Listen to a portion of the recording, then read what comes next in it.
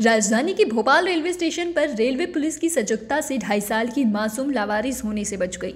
दरअसल मासूम का पिता उसे प्लेटफॉर्म नंबर एक पर छोड़कर भाग गया था। रेलवे पुलिस की तत्परता से लावारिस हालात में मिली ढाई साल के बच्ची ने अपने पिता को फुटेज में देखकर पहचान लिया। बता दें, मासूम का पिता शुक्रवार शनिवार की दरमियानी रात को भोपाल रेलवे स्टेशन के प्लेटफॉर्म नंबर एक पर उसे छोड़कर भाग गया था।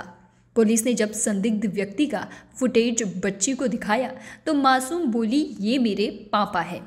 पुलिस ने कैसे मासूम को लावारिस होने से बचाया, पूरी खबर बताते हैं आपको विस्तार से। मानसिक रोगी इस पिता ने गुरुवार को भी नागदा स्टेशन पर बेटी को लावारिस छोड़ दिया था।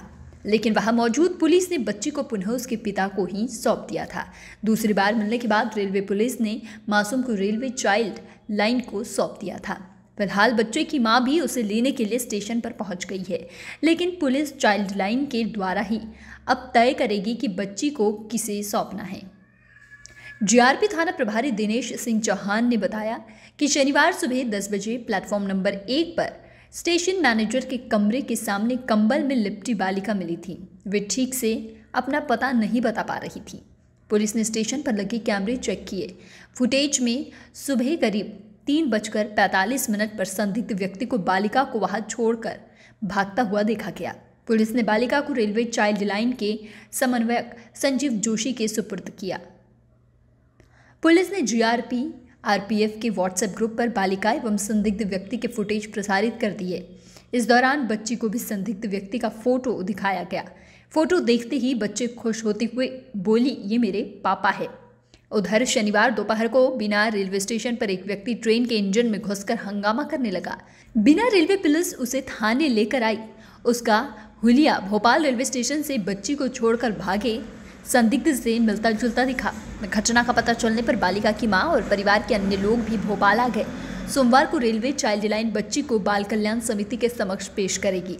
समिति बच्ची की सुपुर्दगी का निर्णय लेगी। बच्चे के परिजनों ने बताया कि बच्ची का परिवार मूलतः बैतूल का रहने वाला है। बालिका का पिता मानसिक रोगी है। लंबे समय तक चले इलाज के बाद दो साल पहले में पूरी तरह ठीक हो गया था।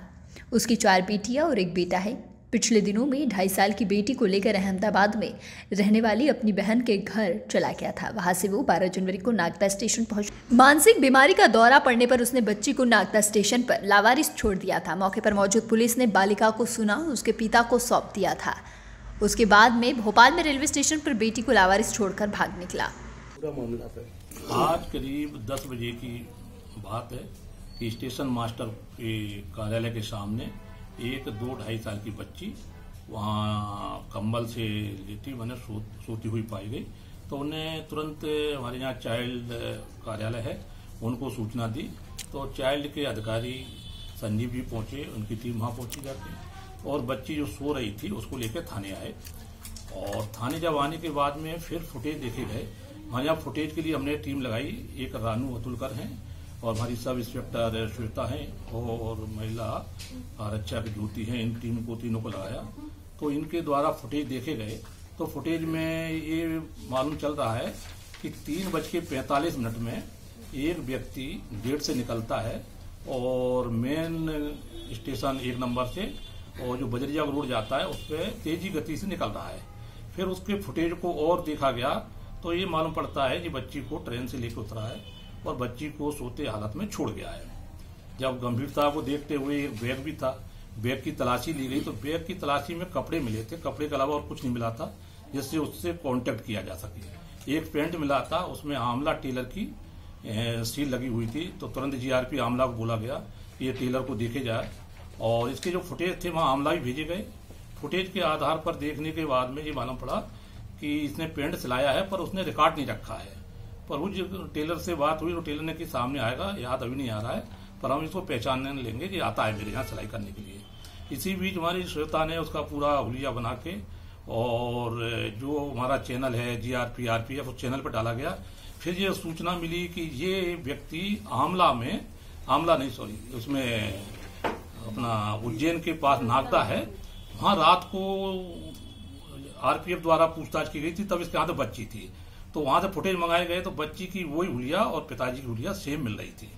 और यहाँ जब फुटेज बच्ची को दिखाए गए तो कि ये ये कौन है? तो बच्ची इतना ही बोलती थी, पापा हैं। तो ये मालूम पड़ गया कि इसके पिताजी इसको छोड़ गए हैं। फिर टीम सक्रिय हुई, फिर पूरा व्हाट्सअप डाला गया ग्रुप में। फिर ये मालूम पड़ा कि ये व्यक्ति बीना में रात में इंजन में चढ़ रहा था तो आरपीएफ और जीआरपी इसको लेके बीना थाने में छोड़ा है। फिर उनको सूचना दी गई तो बीना की पुलिस उसको लेके आई। जब यहाँ देखा गया, उसको दिखाया गया तो उसने बताया, हम अहमदाबाद से आ रहे थे, बहन के यहाँ गए थे।